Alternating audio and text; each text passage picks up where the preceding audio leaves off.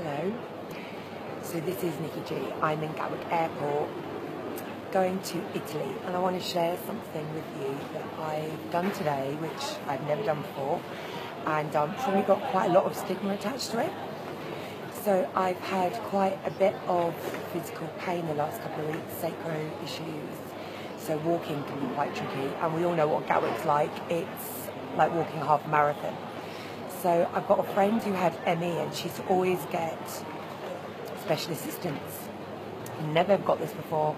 Kind of thought you had to be old, disabled, um, have half a leg gone or something, but you don't. I spoke to the airline yesterday and said I was having issues with walking long distances.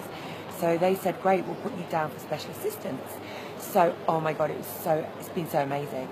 I got picked up by a guy from the airline and he took me to the buggy. I went down all these little back escapes through Gatwick. It was really fun.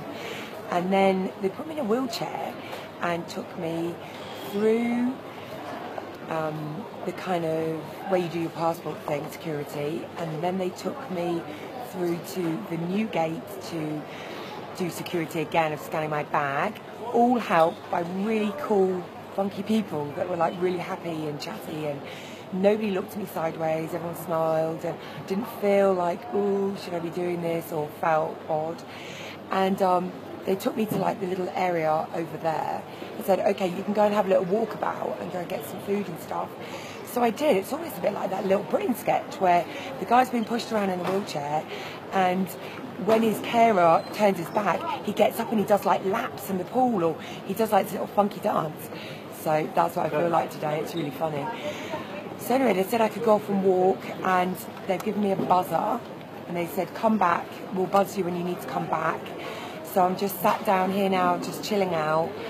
Um, got some little snacks and a bottle of water, and um, really enjoying it. It's so nice. I jumped all the queues, and when I when they buzz me and I go back, they're just going to put me in a little chair and they're going to wheel me down to the gate.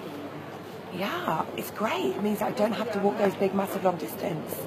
So if you're somebody that like normally would just hobble along, like I usually do, you know, I've seen everyone in my family just hobble along and oh, I'm all right, I'm great, you know, when actually they're not, they're feeling really shit.